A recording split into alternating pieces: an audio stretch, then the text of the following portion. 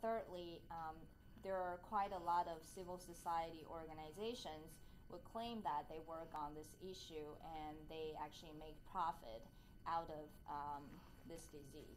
在中国的问题，以我代表我个人的看法，因为中国艾滋病感染的途径和其他的国家不同，艾滋病的病毒病种种类也不同， 所以说中国艾滋病感染途径是血、脉血和输血，因为穷困脉血，因为有病输血。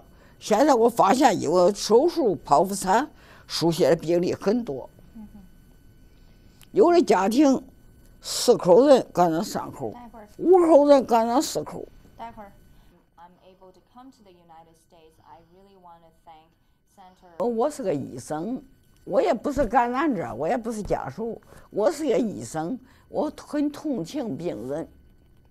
我今天能在这个地方说话，我也也就就应该感谢支持我的人，特别是希拉里女士和国和美国国务院，和我们中国的，呃，胡锦涛总书记，温家宝总理，吴仪副总理。And in 2003, when Deputy Prime Minister Wu Yi 我得奖，这是国际上的第六次了。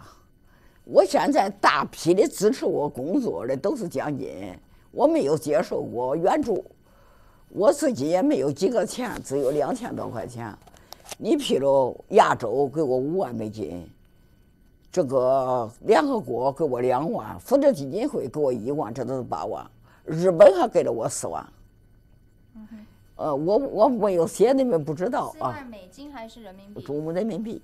可是你像是呃那个呃上海电视台，他给我五万七，呃这个南京，呃江苏卫视，他一天给我五千所以说这样我花了多少？我大概我花到艾滋病身上是一百万。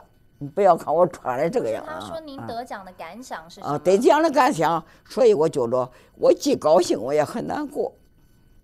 我为什么难过？我回去以后，这些贪官污吏还不知道怎么报复我，特别对我的家属，对我的孩子这是我非常难过的。。香港，啊，不是想在香港给您那个就就做活动嘛？嗯。不是想在香港给您做活动嘛？然后我就刚才拜托那个奥美公司的那个那个负责人